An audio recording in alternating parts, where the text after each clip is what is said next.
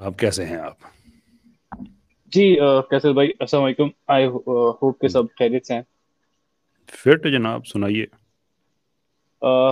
Thank you पहली बात तो ये मैंने एथिज्म लिखा है। ठीक है actually I don't really know कि मैं किस आइडियोलॉजी से एफिलिएट करता हूँ but I think I am rational Bulleh Shah साहब वाला मामला है। बुला की जाना मैं uh, जी वो गाना बहुत प्यारा है लेकिन मुझे उस उनकी बैकग्राउंड के बारे में नहीं पता। अच्छा अच्छा। नहीं मुझे एग्जैक्टली exactly उनके बैकग्राउंड क्या था मुझे आइडिया नहीं है बट मैं I come from a Muslim background but I consider myself rational after listening to Ghalib and Haris I kind of change तो आई अच्छा ये, ये अच्छा ओ सॉरी अब मुझे समझ आई है। किसको किसको सुना आपने? मैं अभी हारिस को तो मैं अभी नाम नहीं ले सकता क्योंकि वो अभी चेंज हो चुके हैं। आई डोंट नहीं नहीं नहीं नहीं मैंने मैंने आपसे ये पूछा है अब उसमें इजाफा ना करें जो बोला था वही बोले। किस किस को सुना है? देखिए मैं अपने आप को एक्सप्लेन मुझे करने देंगे तो आई वुड अप्रिशिएट इट ओ भाई जो बोला है पहले वो बोलो। सवाल में एक्सप्लेनेशन ही सवाल वही है। जो आपने बोला है वही पूछ रहा हूँ इतने सेंसिटिव क्यों हो रहे हैं मेरा भाई? जो बोला था वही पूछ रहा हूँ किन किन को तो सुना है? ऐसा ऐसा लग रहा है कि आप मेरे अल्फाज पकड़ने के मूड में पर तो खैर हाँ तो हूँ ना मूड में हूँ ना मूड में। देना मुझे। तो भाई जो पूछा वो पहले बताएँ। नहीं पूरी बात क्यों? जो सवाल पूछा वो मिनट पहले आया हूँ। मैं पहले दो मिनट पहले आए हैं या पाँच या पच्चीस साल पहले आए हैं। मुझे इतना परवाह नहीं जो आपने बोला है वो बताया क्या हो गया? मुझे रखने देंगे तो रखूँगा ना किन किन किन को सुना है? किन किन को सुना है? इतना पहले अपनी पूरी बात रखूँ एक बार? किन किन को सुना है? जवाब करना स्टार्ट करेंगे किन किन को सुना है?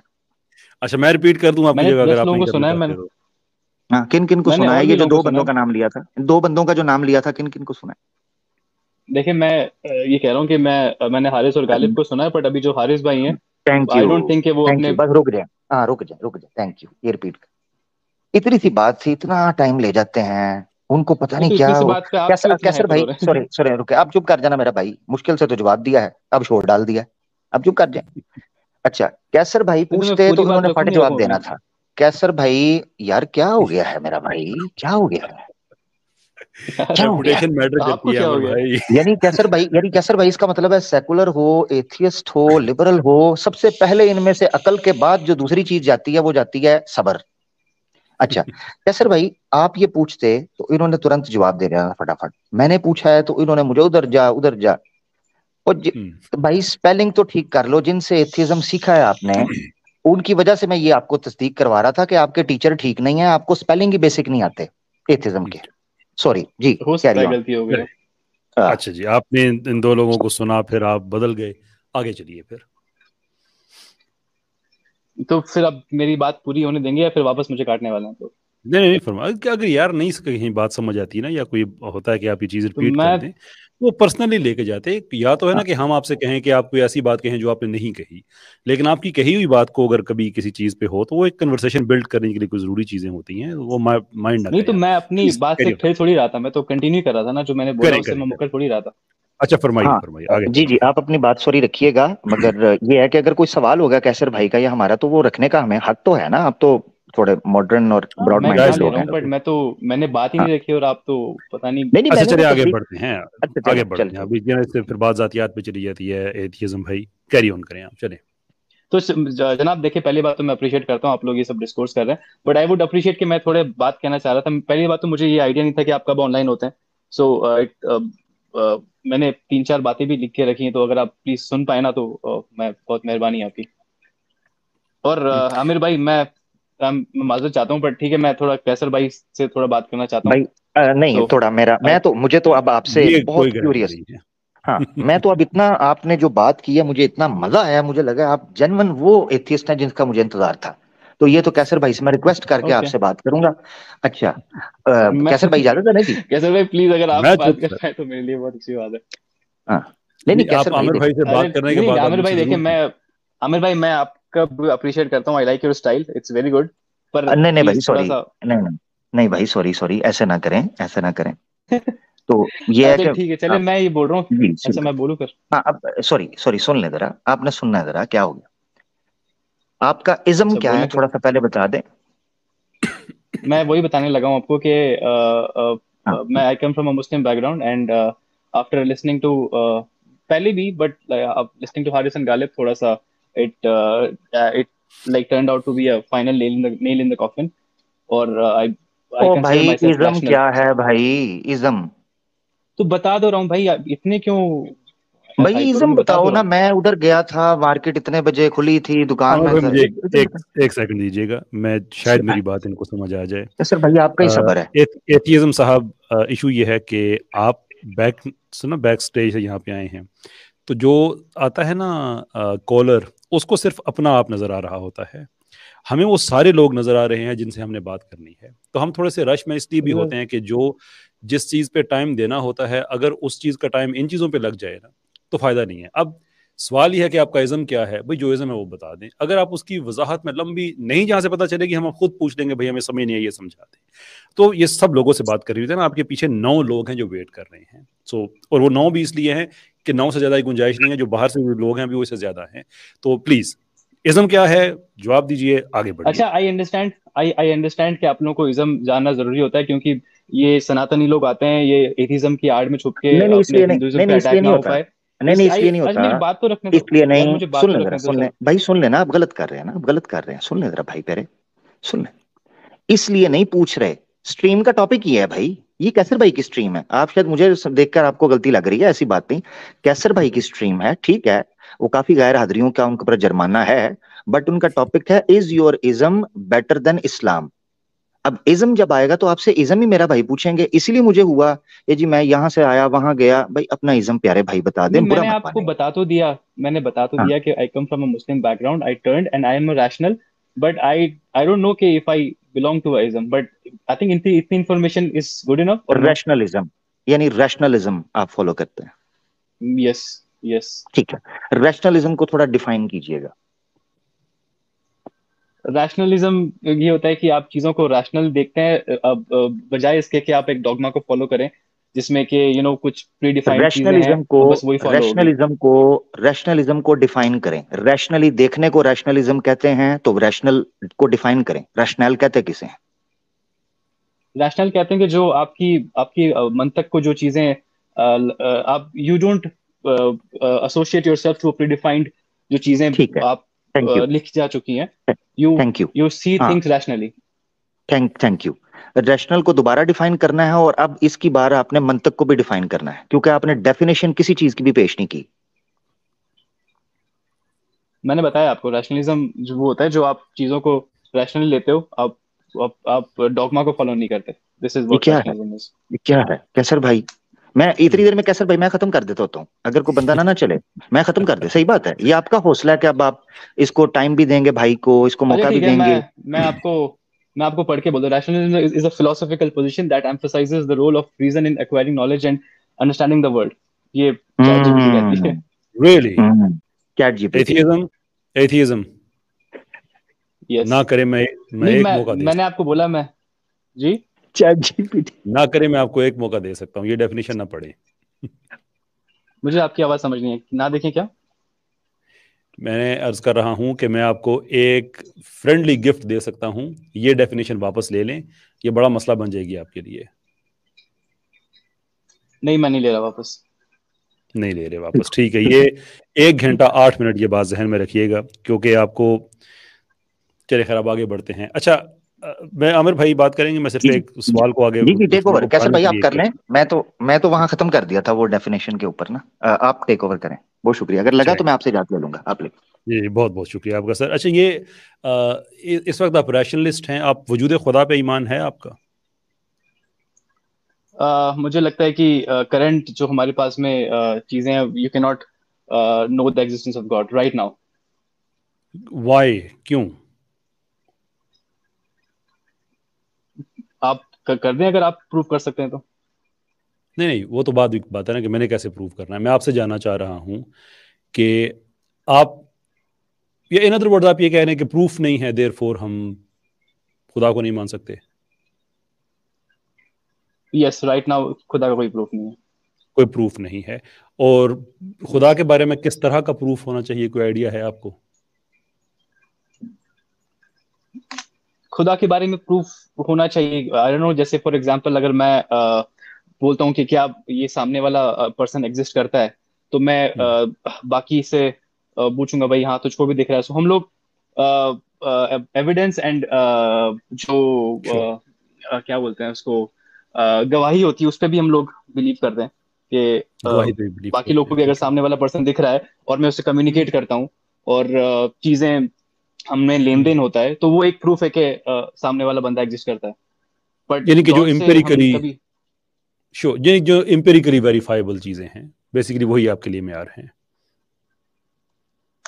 अब मुझे एग्जैक्टली exactly आपने जो बोला उसका मीनिंग नहीं पता आई अपोलोजाइज फॉर दैट पर uh, मैं आपके जितना लर्नेड भी नहीं वो चीज़ जिसको आप अपनी इम्पेरिकली वेरीफाइबल यानी कि वो चीज़ जो आपके तजर्बे और मुशाहिदे में आ सकती है देख सकते हैं सूंघ सकते हैं एंड सो फोर्थ इस तरह की okay, जो से खमसा है ये बेसिकली ये मेक सेंस या देखिए प्रॉब्लम ये है कि आप इम्पेरिकल स्टैंडर्ड को सेटिस्फाई करने वाला एविडेंस मांग रहे हैं जबकि आपने अपने आप को रैशनलिस्ट कहा और जो डेफिनेशन मैंने आपसे कही थी आप वापस ले लें। आपने वो वापस नहीं ली थी तो उस डेफिनेशन के मुताबिक तो ये फिट ही नहीं बैठती है। क्यों नहीं फिट बैठती? क्योंकि आप इंपेरिसिज्म वाले हैं रैशनलिज्म वाले नहीं हैं। नहीं मैंने अब जैसे मैंने कहा आप मुझे एग्जैक्ट डेफिनेशन एम्पिरिसिज्म की नहीं पता है बट रैशनलिज्म की जो मैंने डेफिनेशन आपको बोली है कि it emphasises the role ji. It it emphasizes the role of reason in acquiring knowledge and understanding the world ये बेसिक सी डेफिनेशन है therefore no empiricism therefore no empiricism required sir मैंने जैसे कहा मुझे एम्पिरिसिज्म डेफिनेशन एग्जैक्टली नहीं पता अगर आप साफ़ वर्ड लफ्जों में बता पाए तो मैं अच्छा। मेहरबानी होगी। मैं I am not as learned as you I अच्छा भाई दिस इज़ द प्रॉब्लम कि जब हम चीज़ों को जैसे भी आपने जल्दी से गूगल किया ना तो आप रैशनैलिटी को रैशनलिज्म के साथ मिक्स कर गए रैशनलिज्म एक्चुअली अपोज करती है एम्पेरिसिज्म को। एम्पेरिसिज्म ये एपिस्टमोलॉजी में दो क्लासिकल बहसें हैं ग्रीक ज़माने से चली आ रही हैं। हम मुस्लिम इस डिस्पैरिटी को अननेसेसरी समझते हैं, हम एम्पेरिसिस्ट भी होते हैं और रैशनलिस्ट भी होते हैं। लेकिन जो एम्पेरिसिस्ट हैं, उनका तकाजा, उनका वो ये पॉजिट करते हैं कि जो सोर्स ऑफ़ नॉलेज है, या जो क्लेम बेस आप करते हैं किसी चीज़ पर वो सिर्फ़ एम्पेरिकली वेरीफाइबल चीज़ों पे हो सकता है, देखना, सुनना, ये वो वगैरह तजर्बा मुशाहिदा और जो रैशनलिस्ट है, जो डेफिनेशन आपने दी थी कि नहीं, हम गौर व फ़िक्र, तदब्बर रीजनिंग तो जी इन चीज़ों को यूज़ करके भी नतीजे पे पहुँच सकते हैं। और जो लोग एथियस्ट होते हैं, वो ज़्यादा एम्पेरिसिस्ट होते हैं, वो रैशनलिज्म वाले नहीं होते हैं, वो रैशनलिस्ट खुद को कहते हैं but that's a different meaning जो रैशनलिज्म जिसकी डेफिनेशन आप दे रहे हैं, ये तो एक्चुअली एथिज्म के खिलाफ जाती है। लुक मैं मैं पर्सनल नहीं होता, लेकिन अगर मैं आपसे ये कहूँ कि आपकी इन मामलात में जो रीडिंग है वो शायद अभी मुकम्मल नहीं है तो मैं गलत तो नहीं कह रहा हूँ बिल्कुल गलत नहीं बिल्कुल सही सही कह रहे हैं आप। तो इस बेस पे क्या ये फेयर है कि आप मुस्लिम बैकग्राउंड से आए आपके पास सैकड़ों बरस की एक तारीख है और आपने उस सबको डिनाउंस कर दिया based on your lack of knowledge is that fair तो रैशनलिज्म भी कोई नया नहीं है ये भी पुराना है। मैंने भी अर्ज़ किया है कि जिस रैशनलिज्म की आप बात कर रहे हैं, वो हमारे पास है। हम रैशनली बगैर खुदा को ये कहे कि नहीं, खुदा मेरे सामने आएगा और बात करेगा तो मैं फिर उसे मानूँगा। ये तो हो गया एम्पेरिसिज्म मैं अपने रैशनलिज्म को यूज़ करके इस कायनात की जो परफेक्शन है, उसको देख के, अपने जिसम की जो परफेक्शन है, जो एक इकोलॉज इकोलॉजिकल सिस्टम के अंदर जो कम्युनिकेशन है, जो पैटर्न्स हैं, इन सबको देख के मैं रैशनली इस नतीजे पे पहुँच सकता हूँ कि खुदा है। That's me but that cannot be you. As an atheist you have to be an empiricist. अच्छा क्या सॉरी कैसे भाई इतने भाई इतने भाई मैं आपकी हेल्प करना चाह रहा हूँ। मैं मैं आमिर भाई क्वेश्चन से एक एक सवाल अगर आप इजाज़त दें उसके बाद बाकी दे आमिर भाई। मैं इनकी हेल्प करना चाह रहा था वैसे मैं उसका कर दे। But you think it's perfection but I don't think it's perfection and it does not seem rational to me कि ये परफेक्ट परफेक्शन है ये इस दुनिया में। कौन सा आपके पास ऐसा एम्पेरिकल एविडेंस है जिसकी बेस पे आप इस नतीजे पे पहुँचे हैं? This is not a perfect word यहाँ पे अर्थक्वेक्स आते रहते हैं और लोगों को अजीब अजीब बीमारियाँ होती रहती है और sure. कभी दो बच्चे पैदा हो जाते हैं कभी यू you नो know, एक बच्चा एक बच्चे के अंदर अजीब सा उनमें कम वो होता है। सो इट्स नॉट परफेक्ट ये हम चलेंगे लो हैंगिंग फ्रूट पे। हम बात करें फिलोसफी की। ये जितनी चीज़ें हैं ना जो प्रॉब्लम ऑफ़ ईवल है ये बड़ा अरसा पहले ये ये एड्रेस हुआ हुआ है। इसके अंदर कोई कोई नई जान नहीं है। विच इज़ द रीज़न कि वेस्ट में अब ज़्यादा लोग एथिज़म से शिफ्ट हो के वो गॉडलेस uh, स्पिरिचुअलिटी और एक रिवाइवल ऑफ़ डीइज्म उस तरफ़ जा रहे हैं लेकिन हमारे यहाँ जो होती है वो नॉलेज थोड़ा लेट पहुँचता है विच इज़ फाइन लेकिन जो सवाल मेरा आपसे ये था कि अगर आप जिस फलसफे को इस्तेमाल करते हुए आप किसी एथियस से मुतासर हुए, जब आपको उस फलसफे की मुकम्मल समझ ही नहीं है and I say this with with respect to you क्या ये फेयर है कि आप एक स्टेब्लिश्ड सिस्टम ऑफ़ बिलीफ को छोड़ दें लैक ऑफ़ नॉलेज की बेस पे? नहीं, जैसे मैंने कहा कि अगर कुछ चीज़ें आपको इरेशनल लगती हैं तो आप you can disregard the entire thing जबकि वो आपका आइडियोलॉजी वो ये क्लेम करता है कि उसमें एक एक भी इम्परफेक्शन नहीं है। तो उसमें अगर हम्म। आपको थोड़ी भी इम्परफेक्शन मिलती है तो you can disregard the entire thing but दूसरी जो है और अगर आइडियोलॉजी नहीं करती है। और और अगर आइडियोलॉजी ये हो कि इसके अंदर जो परफेक्शन आप ढूंढ रहे हैं वो आपको नहीं मिलेगी तो फिर आपको एक कंसिस्टेंसी नज़र आ जाएगी फिर। नहीं पर जो वो ये कि, किस किस चीज़ में इम्परफेक्शन नहीं मिलेगा? कैन यू रिपीट अगर आइडियोलॉजी ये मिले रिलीजन के अंदर वो आइडियोलॉजी वो नहीं होती लेकिन हम सिर्फ़ फॉर कन्वर्सेशन के पर्पज के लिए हम बात कर रहे हैं।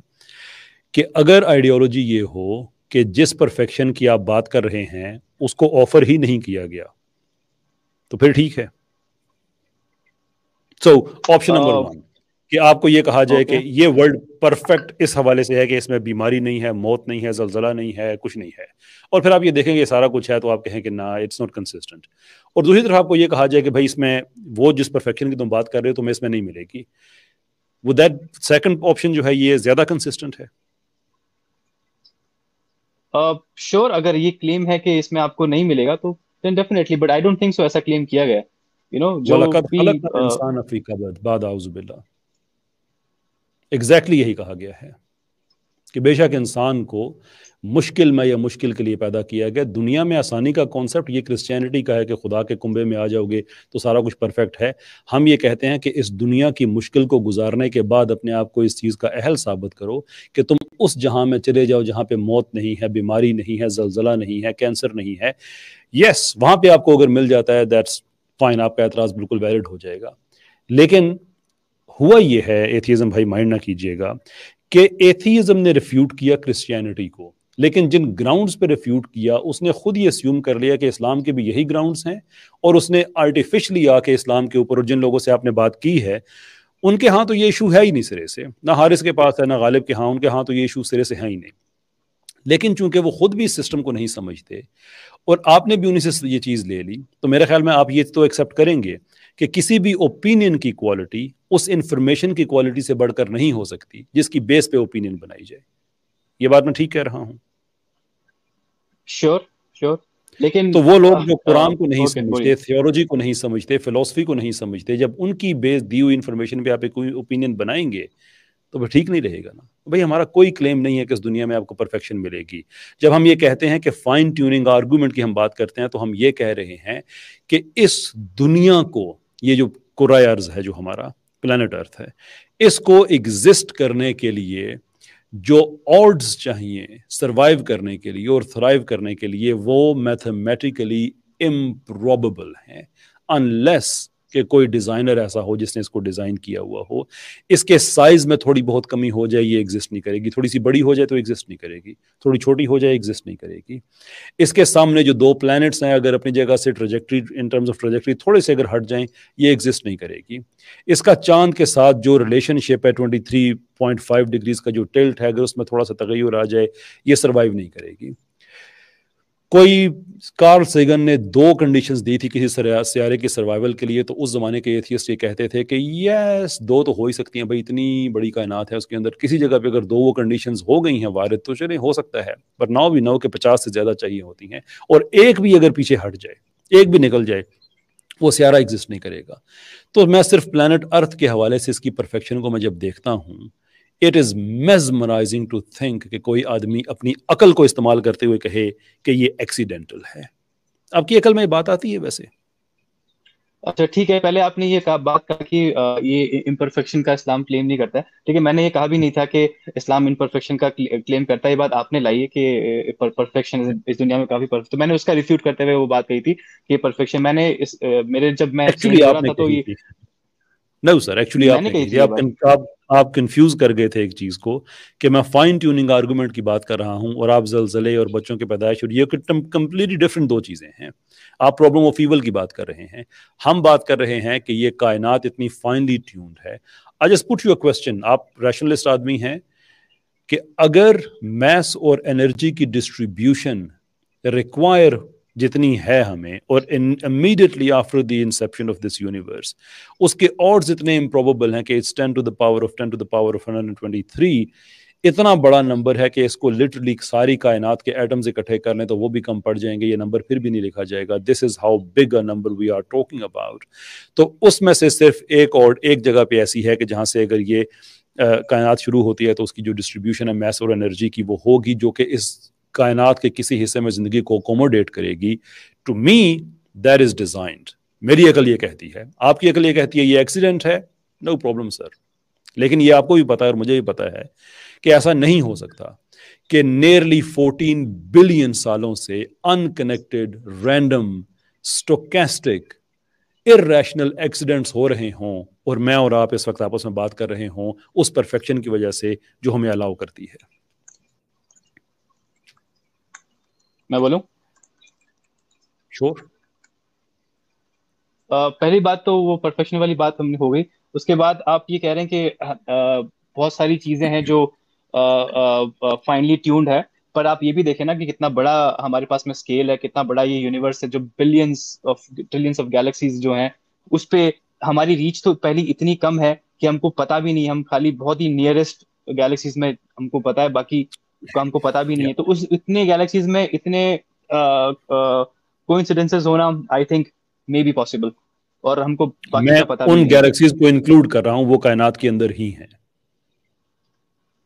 हाँ ठीक है हम हम हमारी नॉलेज बहुत ही कम है। साइंस अभी आई डोंट थिंक इवन दो कि बहुत ज़्यादा तरक्की की बट स्टिल हमारी पहुँच बहुत ज़्यादा आगे तक नहीं गई है।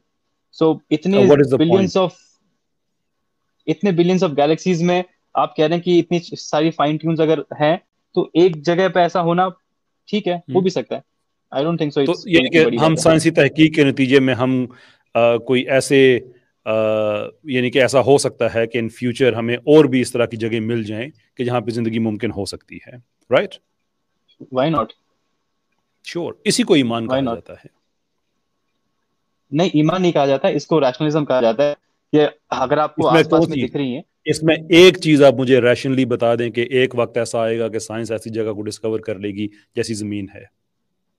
क्योंकि हमको और नई नई मिलती जा रही है। सो so ये आपको faith based statement purely faith नहीं ये आपको ये, ये रैशनल है आपको कि अगर आपको और आपको एवरी ईयर आपको नई नई एवरी जैसे टाइम जा रहा है आपको नई नई गैलेक्सीज और नई नई जो सोलर सिस्टम जो डिस्कवर हो रहे हैं तो कोई हम्म। कोई तो ये तो मंतक कहता है ना कि और भी होंगे फॉर श्योर मंतक? कौन सी मंतक कहती है? इस्तकराई? इस्तखराजी?